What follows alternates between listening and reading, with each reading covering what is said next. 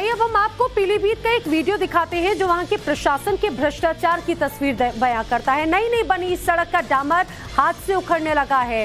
Road की बेहाली का video जो आप अपनी टीवी स्क्रीन पर देख रहे हैं, ये उत्तर प्रदेश के पीलीभीत का है। लोगों का आरोप है कि पीडब्ल्यूडी ने बेहद ही घटिया क्वालिटी से ये सड़क बनाई जिसका सबूत आपके सामने है। उखड़ती हुई सड़क कई सवाल खड़े कर रही है। देखिए जरा यहाँ पर लोग बता रहे हैं कि आखिर कैसे डामर हाथ से उखड़ सकता है बेहद आसानी से। यहाँ पर अफसरों की मनमानी की गवाही यहाँ पर नज़र आती है।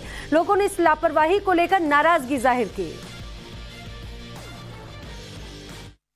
मिट्टी के ऊपर ही बजरी की एक पतली परत बिछा दी जाती है। मानकों को दरकिनार कर ये रोड बनाया गया और बिल्कुल प्रशासन से यही मांग करता हूँ कि जो भी संबंधित लोग हैं, जिन्होंने ये गलत तरीके से इसको मानकों को दरकिनार कर रोड बनाया, उनके ऊपर आगे उचित कार्रवाई की जाए। तीन दिन में जो हालात हैं तो इससे हम सभी लोगों को पुनः जो है इतना बजट कहाँ मिल पाएगा? जी। ऐसी स्थिति में जो भी संबंधित अधिकारी हैं उनको इससे शिकायत की गई है वो इसको देखें और पुनः इसका जो है निर्माण करवाएँ।